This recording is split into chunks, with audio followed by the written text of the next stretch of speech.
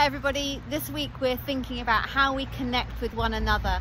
And over this uh, recent season, uh, Claire, who's there a couple of metres away from me, and I have been taking some time to go and visit uh, some people in our church family. And so today we've picked up our chairs. Uh, there's my chair, there's Claire's chairs, our bottles of water, and we've come, it's a lovely sunny day, we've come to see Malcolm and sit in his garden.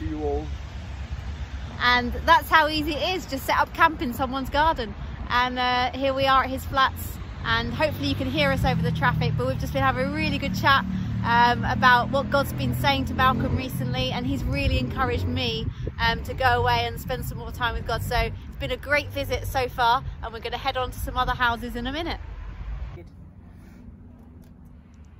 Um, so Jodie and I have just come to visit Dawn um, at her house in the glorious sunshine, catching up with how she is, um, how the family are doing. Hiya! And again, bringing our chairs, bringing our water, um, and just sitting on Dawn's driveway and catching up with how she's been doing.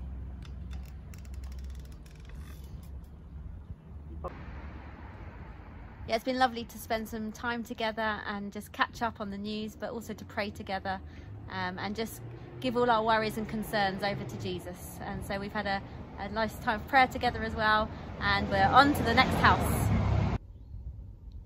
Something else we've really enjoyed doing as we've been going to visit is taking communion together. So we've got these kind of takeaway communion cups.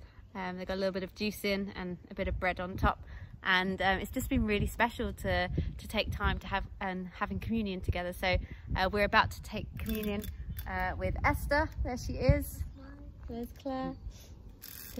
There she is. Yeah. So we're just going to take communion together and, and pray together and uh, yeah, carry on chatting and catching up.